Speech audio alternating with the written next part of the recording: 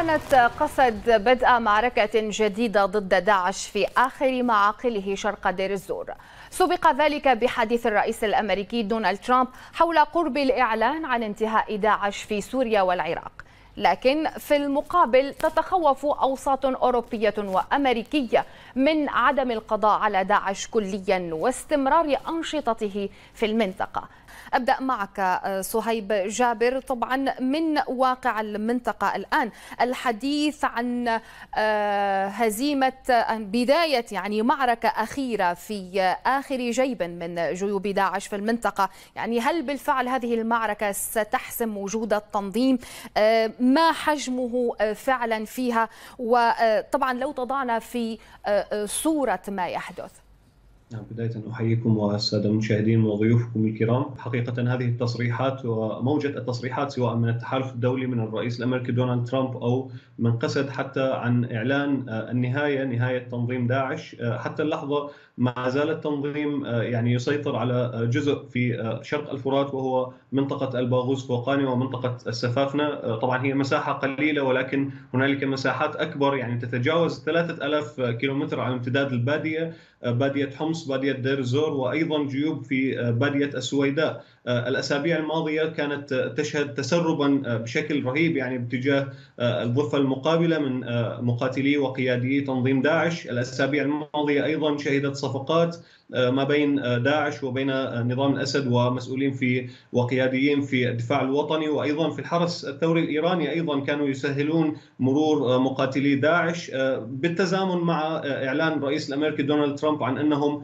عازمون على الخروج من سوريا بما أن المهمة قد انتهت ويبدو أن هذا هو السبب الأساسي وراء هذه التصريحات وهو اعتزامه ونيته الخروج من سوريا. ولتبرير ذلك يقول أن القضاء على داعش هو قاب قوسين أو أدنى أو خلال أسبوع وطبعا تكرر بحسب ما ذكرتم خلال التقرير أيضا منذ قليل. يعني هذا الإعلان عن القضاء على داعش تكرر مرارا وتكرارا حتى أصبحنا لم نعد نقدر على طبعا إحصاء المرات التي أعلنت فيها المرحلة الأخيرة من العمليات والحسم ضد داعش ونهاية تنظيم داعش إلى أن وصلت التصريحات إلى أسبوع واحد. المفتش العام في وزارة الدفاع الأمريكية البنتاغون في تصريح له قال إن تنظيم داعش يواصل جذب العشرات من المقاتلين الأجانب إلى سوريا والعراق كل شهر كما يحصل على تبرعات وهي نقطة أيضا خطيرة يحصل على تبرعات خارجية مستمرة.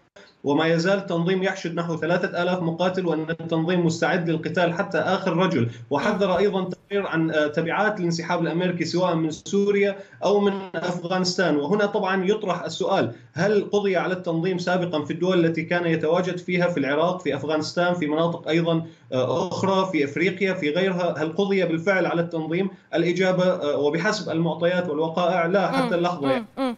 طيب يعني أكثر وفق ما ذكرته صهيب يعني نريد أكثر معلومات أكثر تفاصيل. العناصر المتبقية التي يتحدثون عنها أين تنتشر؟ ما حجمها حسب التقريب؟ وهل بالفعل الباغوث فقط هي آخر المناطق التي يتمركز فيها التنظيم؟ نعم صحيح. الباغوز هي آخر المناطق في شرق الفرات التي يتمركز فيها التنظيم. ولكن هنالك جيب للتنظيم في البادية السورية يمتد لأكثر من 3000 كيلومتر. متواجد فيها عدد كبير. يعني تجاوز 3000 مقاتل الذين أعلن عنهم مفتش وزارة الدفاع الأمريكية يعني للتعديل أيضا على هذا الخبر. والمعلومات هم أكثر من 4000 مقاتل ولربما أكثر من ذلك. هنالك نقطة مهمة أيضا وهي التفجيرات التي يعني انتقل إليها وهي استراتيجية جديدة للتنظيم انتقل إليها من استراتيجية التموضع والتمركز كخارطة نفوذ وسيطرة إلى تنفيذ عمليات إرهابية في منبج في الشمال السوري أيضا نفذت عمليات وتبناها تنظيم داعش في الرقة في الحسكة وأيضا في أجزاء من من دير الزور أيضا في الريف الشرقي، اذا بعد أن نتمعن في هذه التحركات من التنظيم الذي نتمنى جميعنا يعني حقيقة أن ينتهي بالفعل هذا التنظيم وهو طبعا أمر غير سار أن يبقى التنظيم حتى اللحظة، ولكن بعد هذه التحركات نجد أن استراتيجية التنظيم فقط هي التي تغيرت ولكن التنظيم ما زال موجودا ليس فقط في سوريا وإنما في الدول التي كان يتواجد فيها. طبعا صهيب جابر هناك في الآونة الأخيرة هجمات عدة لتنظيم داعش على مناطق لقسد ويحدث خلالها خسائر لقسد في الأرواح وفي أيضا المعدات بالتالي السؤال هل تستطيع الميليشيات الكردية القضاء على هذه الفلول أو ما تبقى من من تنظيم داعش خاصة بعد الانسحاب الأمريكي؟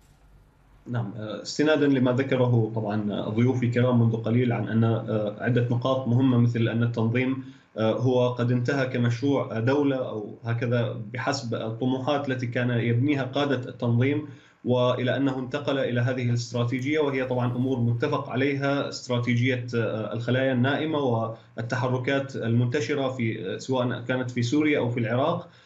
هذه الطريقة تحديدا سوف تجعل من قسد عاجزة بشكل كامل وهذا ما يدفعها طبعا للتصريح بأنها قد قضت على تنظيم داعش. يجعلها عاجزة مستقبلا عن القضاء الفعلي على التنظيم هذا من ناحية. من ناحية أخرى هنالك تساؤلات كبيرة يجب الإجابة عليها حيال هذه الجهات التي طبعا تكرر دائما تصريحاتها بأنها تستهدف التنظيم سوف تقضي على التنظيم وغير ذلك. إذا ما تحدثنا بهذه الطريقة اذا فلماذا تحتفظ قسد حتى الآن باماكن للإقامة مخصصة لمقاتلي وقيادي تنظيم داعش وتعتبرها الآن مصدرا للدخل؟ هذه الحقائق طبعا ثابتة وموثقة بأن قسد تعتمد على من تلقي القبض عليهم من قيادي داعش كمصدر نعم.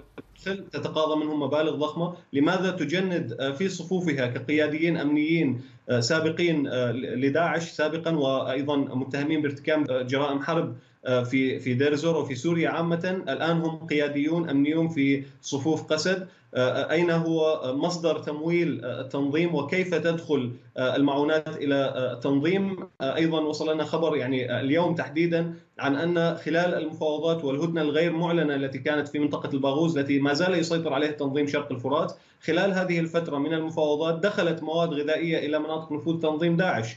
أيضا التنظيم الآن يعني يفاوض من مبدأ قوة عندما يحتفظ ب يعني عدد كبير من الأسرى الذين من ضمنهم صحفيون مثل الصحفي جون كاونتلي وأيضا هنالك الأب باولو هنالك صحفي رهبان أيضا محتجزين لدى التنظيم. هذه الورقة يستخدمها التنظيم كورقة ضغط وورقة قوة يفاوض بها. يعني نحن جميعنا أكرر مرة أخرى يعني نتمنى أن يقضى على التنظيم بشكل كامل ولكن هذا فعليا يحدث. ويبدو أنه لا يزال هنالك جهة ما في مكان ما تحرك هذا التنظيم ولا تريد إنهاؤه فعليا يعني للأسف. شكرا لسهيب جابر الصحفي من غازي عنتاب عبر سكايب.